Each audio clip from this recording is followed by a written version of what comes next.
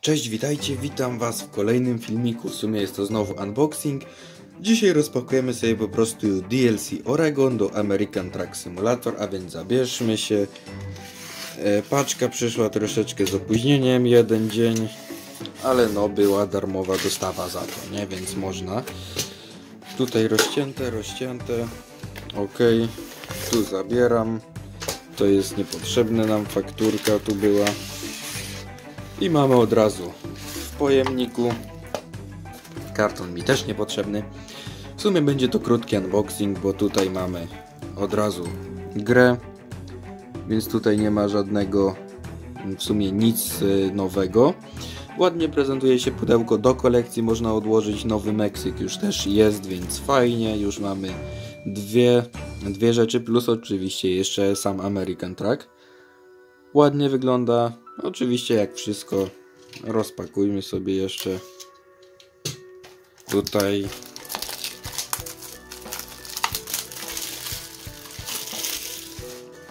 Dobra i czekajcie bo oczywiście klucz jest na samym widoku. Dobra, klucz od, odłożyłem. Jak się otworzy, to mamy pełno jakichś informacji i tak dalej. Co zrobić, żeby zainstalować? Mamy płytę, można sobie za pomocą też płyty zainstalować DLC. Bardziej mi chodziło o to, żeby po prostu było w pudełku. Mogę sobie odłożyć. Mam DLC Oregon, widać, widać. Tak będzie lepiej widać nawet. Fajnie, fajnie. Dobra.